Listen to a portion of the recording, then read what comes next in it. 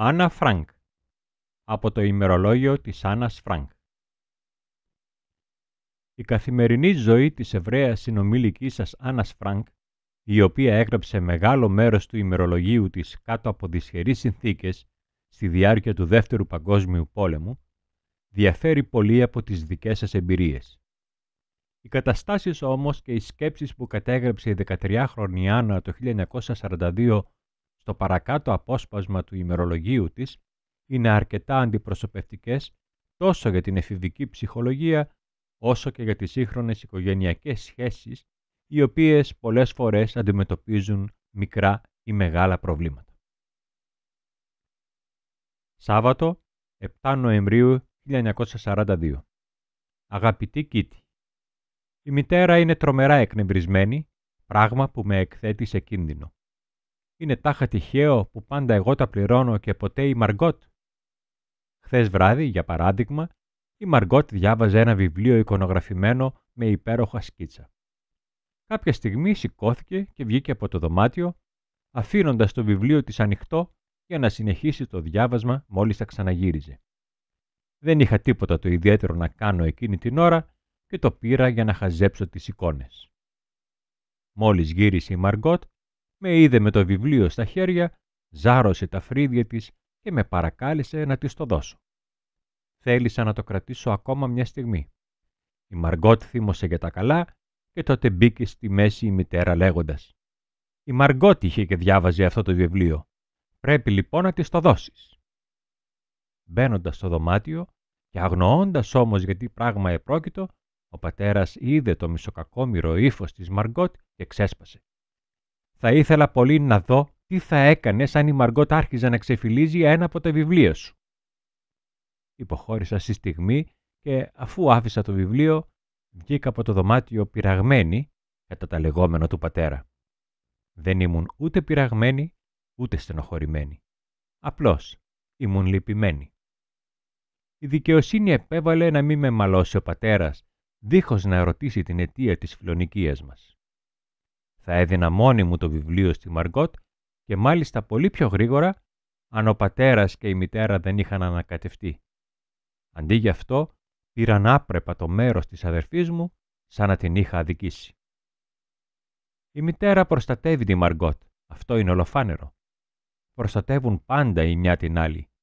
Έχω τόσο πολύ συνηθίσει αυτήν την κατάσταση, ώστε έχω γίνει εντελώς ανδιάφορη στις μομφές της μητέρας και στην κρινιάρικη διάθεση της Μαργκότ.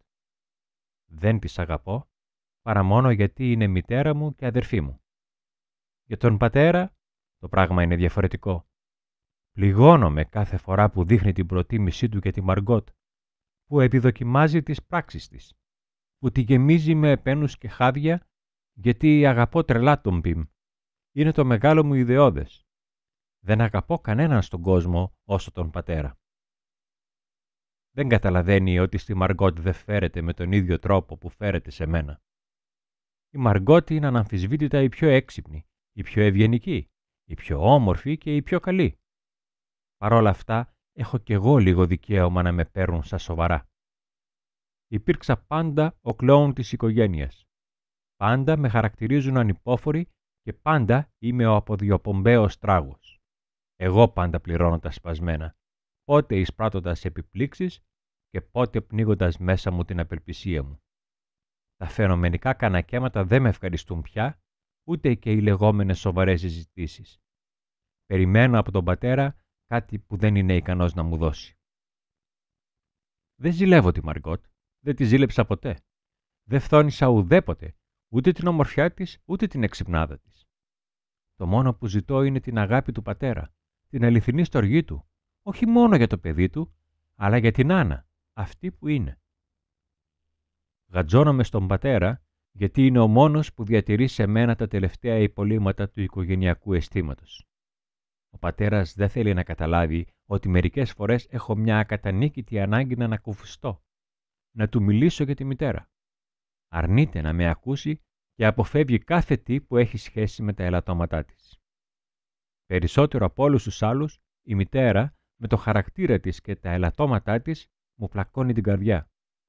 Δεν ξέρω ποια τη στάση να κρατήσω. Δεν θέλω να της πω βάναυσα πως είναι παράλογη, σαρκαστική και σκληρή.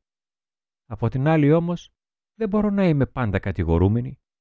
Όπως και να το κάνεις, είμαστε τα δυο άκρα αντίθετα και μοιραία συγκρουόμαστε. Δεν κρίνω το χαρακτήρα της μητέρας, γιατί δεν είμαι αρμόδια να τον κρίνω. Τη συγκρίνω μόνο με την εικόνα της μητέρας που είχα πλάσει με τη σκέψη μου. Για μένα, η μητέρα μου δεν είναι πάντα η μητέρα. Και έτσι αναγκάζομαι να εκπληρώσω αυτόν τον ρόλο μόνη μου. Είμαι ξεκομμένη από τους γονείς μου. Έχω χάσει λίγο από τα νερά μου και δεν ξέρω σε ποιο λιμάνι να ράξω.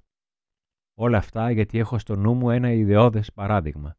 Το ιδεώδες της γυναίκας που είναι μητέρα και το οποίο δεν βρίσκω καθόλου σε εκείνη που είμαι υποχρεωμένη να ονομάζω μητέρα μου.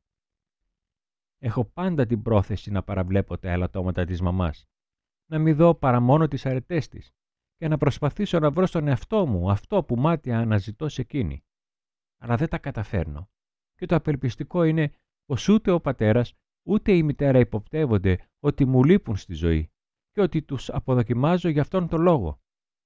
Υπάρχουν τάχα γονείς ικανοί να δώσουν πλήρη ικανοποίηση στα παιδιά τους; Μερικές φορές μου περνάει η σκέψη ότι ο Θεός θέλει να με δοκιμάσει, όχι μόνο τώρα, αλλά και αργότερα.